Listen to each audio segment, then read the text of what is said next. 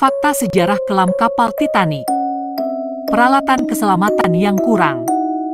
Meskipun Titanic dianggap tak terkalahkan, kapal ini hanya membawa cukup kapal sekoci untuk setengah dari penumpangnya. Ini merupakan faktor besar dalam jumlah korban jiwa yang tinggi.